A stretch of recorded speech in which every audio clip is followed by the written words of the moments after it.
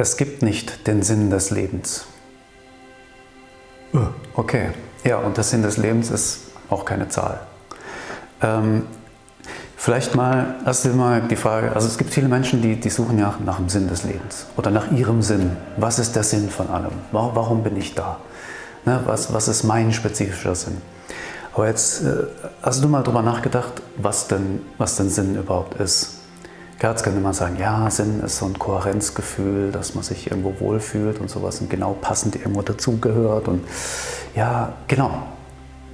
Das heißt, Sinn ist immer vom Kontext abhängig. Es braucht einen Kontext, sonst kann es keinen Sinn geben. So, und damit ist eigentlich schon die Frage beantwortet. Es kommt auf den Kontext drauf an. Und wenn es auf den Kontext drauf ankommt, und wie du zum Beispiel mit deinem Leben in einem bestimmten Kontext bist, dann ist das sehr variabel, was dein Sinn ist. Sprich, am Ende äh, gibt es nicht den Sinn, sondern es gibt viele Sinne. Vielleicht hat alles, alles ergibt einfach Sinn, weil alles irgendwie in einem Kontext mit allem ist. So. Je nachdem, wie man das betrachtet, aus welcher Perspektive. Aber es gibt nicht den einen Sinn. Und den Sinn, den du hast, der, der ist auch kontextabhängig. Das heißt, je nachdem, von wo man das betrachtet. Oder wenn du jetzt denkst, ja, aber es muss doch einen einzigen Sinn geben, warum ich hier bin. Dann, ähm, ja, äh, entweder du suchst dir den selber aus, weil du dir äh, überlegst, äh, in welchem Kontext du diese Frage beantwortest. Oder jetzt stell dir mal vor, wir sind hier bei, bei spirituellen Gedanken, bei Erinnern und Erwachen. Stell dir einfach mal vor, du bist komplett der Schöpfer deines Lebens der Schöpfer dieser Erfahrung, die du jetzt gerade machst. Und damit meine ich nicht nur dein Körper-Ich, dein, dein Ego-Ich, was jetzt dieses Video anguckt und das verarbeitet und überlegt, was das ist, sondern die Ganzheit deiner, deiner, deine Seele, dein, dein multidimensionales Ich sozusagen. Wovon vieles vielleicht dir jetzt gerade nicht zugänglich bewusst ist, aber jetzt stell dir vor, du bist viel, viel, viel mehr als der, der sich gerade das Video anguckt und dieses viel, viel, viel mehr, das, was du alles bist, erschafft gerade diese Realität, damit du diese Erfahrung machen kannst, dieses Video anzugucken und dich vielleicht an, daran erinnern und dich vielleicht darüber daran zu erinnern, deswegen vielleicht der Sinn, warum du dieses Video gerade anguckst, warum ich es vielleicht gedreht habe, nämlich für dich, für uns alle vielleicht, dass wir uns alle daran erinnern, ähm, dass wir Schöpfer sind von dem, was wir erleben. Auch wenn uns das nicht immer so ähm, einleuchtet, vielleicht, wenn wir ähm, im kleinen Menschen-Ich feststecken. Oder wenn es mal ganz schlimm ist und ganz leidvoll. Gerade dann ist es schwierig. Ne? So. Ähm, es gibt nicht den Sinn. Also wähl dir einen aus.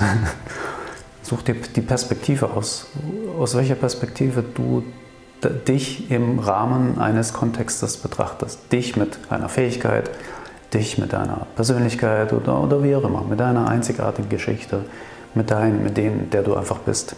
Spielt am Ende keine Rolle.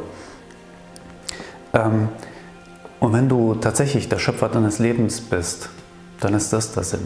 Schöpfer zu sein. Und wenn du wirklich der, der vollkommene, der große, ganze Schöpfer von deinem ganzen Leben bist, von all deiner Erfahrung, von allem, was, was da ist, was du wahrnehmen kannst, wenn du das alles für dich selbst geschaffen hast und das zu erleben, wie das ist, wenn man im Selbstgeschaffenen irgendwas drin sitzt und es vergessen hat, um diese Erfahrung zu machen, dann äh, kann man sagen, ist das der Sinn, Schöpfer zu sein.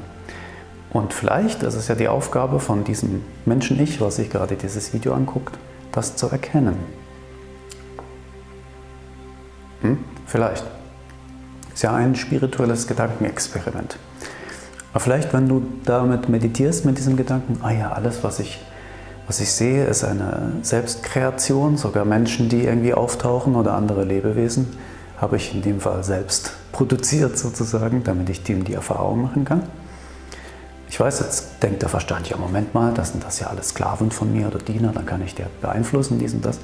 Ja, aber wenn wir von einer, von einer Multidimensionalität ausgehen, dann haben wir eben nicht nur 3D und Raumzeit, sondern dann sieht es anders aus und da ist sowas möglich. Das heißt, jeder spielt für jeden irgendwo, ähm, wenn jemand das braucht, ein, ein Schauspieler. Ja, dann ist man hier und da eine Projektion für jemanden, damit der was lernen kann. Aber der Teil, der gerade den, den Schöpferanteil spielt sozusagen, der ist der hier jetzt, der, der das erlebt. So. Und ähm, der kann sich den, den Sinn im Prinzip frei auswählen. Ne? Du kannst sagen, Sinn meines Lebens ist, ähm, mich mit meinem Bewusstsein zu beschäftigen, mich daran zu erinnern, wer ich, wer ich eigentlich bin, was ich alles noch bin, wer ich noch bin, wenn ich nicht diese, diese Persönlichkeit hier verkörpere, in diesem, in diesem Gewand, der sich gerade das Video anguckt. Ähm, oder dass du sagst, ja, Sinn ist, dass ich äh, eine bestimmte Aufgabe hm, erfülle. Das ist aus, selbst ausgewählt. Das heißt, du kannst dir selbst Aufgaben stellen und sagen, so, das ist jetzt mein Sinn.